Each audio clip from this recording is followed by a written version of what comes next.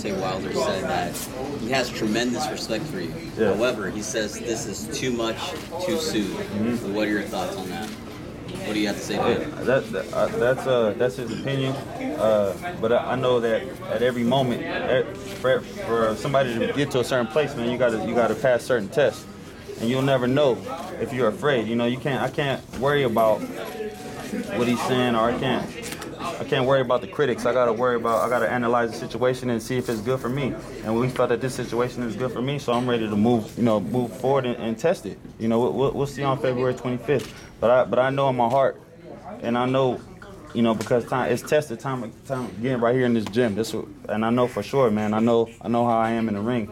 I know I can handle Deontay Wilder, and I, I'm ready. Now, you have another stablemate you've been working with, uh, Dominic Breazeale. Yeah. Uh, it was a treat yesterday to see you guys spar. Yeah. What have you learned from Dominic Breazeale? Because he's another guy who has challenged for a title against Yeah. AJ. It's cool, man. It's just he's been he's got a lot of experience. He's, he's fought with guys all over the world, so he gets to see, and he's a big, long guy. Uh, but me and Dominic came up together as far as we, we, we pretty much turned pro at the same time, and we just always helped each other out and just. Uh, and I, told him yesterday, man, we started from the bottom. Now we're here. You know, he had his opportunity. Now, now I get my opportunity at, at the WBC Heavyweight Championship of the World. Man, I get chills every time I think about it. You know, it's a dream come true for me and my team. Man, I, I, I look forward to bringing that belt back here and just, you know, uh, just just adding that to, to the list, man. All the great accomplishments that we have here. Gerald, WBC belt. Yeah. With you being part Mexican. Yeah. What does that belt mean to you, concerning the fact that that's from Mexico City? That's right, man. It's a, it's a, it's a great honor. It's a great honor to, to represent them. A lot of great champions have worn that. Muhammad Ali, Joe Louis, Mike Tyson, Lennox Lewis, all my favorite fighters, you know, have worn that belt. And I would love to, to put my name on that list of, of great men and, and, and, live on that legacy that Muhammad Ali, you know, that he, that he shared, that he that he tried to spread. You know, I mean, he wanted to be spread the message of peace and love. You know, what I'm saying, I want to do that, man. Especially with all this all this stuff going on right now in, this, in the world, man. It's crazy. You know, I want to I want to be that example and that role model and, and shed light on that. That's right. With your Mexican background, you'll also be following us as the first Mexican to win a heavyweight title. You have to- you get- That's right, man. Put me in the Guinness Book of World Records, baby. When I was doing the research yesterday, um, I I found a little weird thing.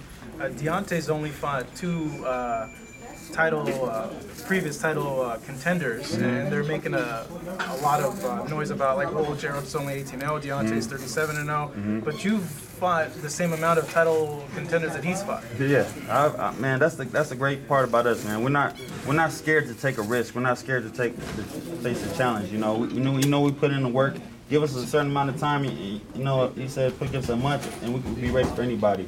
Um, especially now, man, you need those hard lessons that I that I took along the way of, of, my, of my career to understand how to, how to live in that ring, man. It's, it's it's hard, man. Like you got a lot of critics out there, a lot of people talking talking noise, man, but they don't know what it is to be in there with a dangerous fighter or, or getting punched. You know what I mean? It's, it's hard, you, and it's and it's it's hard lessons that you have to learn, but they're necessary lessons. And I've taken I've taken enough lessons now to to be prepared for this moment. Gerald, you're one of the most athletic heavyweights in the world, probably arguably of all time.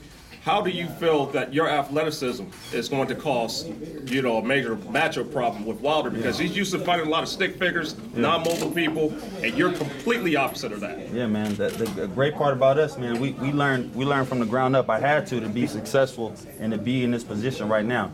I had to learn how to be defensive, man. So a lot of time early in my career, people would say, "Well, how come he's not doing this? How come he's not doing that?" You know, they see me as I'm, I'm a big, strong guy. Why is he not pressing this guy? Why is he not putting the heat on this guy? Because I'm learning. You know what I'm saying? I, I had to learn that. If I didn't learn those lessons, man, I'd get my butt knocked out. I wouldn't be in this position. We wouldn't be having this conversation or this media day or nothing. You know what I'm saying? So I'm glad that we took our time and did it on our time and in the way that we wanted to and learned and, and took the proper procedure. You know what I mean? To, to be here. So I'm grateful for my team, man, for everybody being patient. You know, even myself, I get frustrated at times. I want to fight more, you know, whatever. But you know, the time in between, after after you know, I had a couple tough fights. I was like, okay, I'm not gonna be in a rush anymore. I'm gonna take this time to learn, and I'm a, and I'm a, and I'm gonna get better. You know what I'm saying? So when I get back in the ring, uh, it'll show.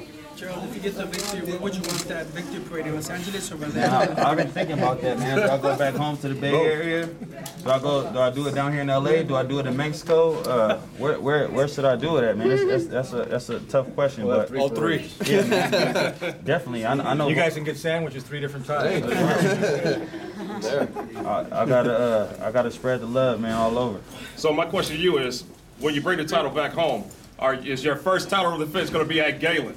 Hey, man, I want to fill up the, the LA Coliseum, man. Okay. I want to fill up the LA Coliseum, man. hundred thousand people in there, man, and, and, and put on the show. That's right. You know, for the world to see, man. I, I look forward to that.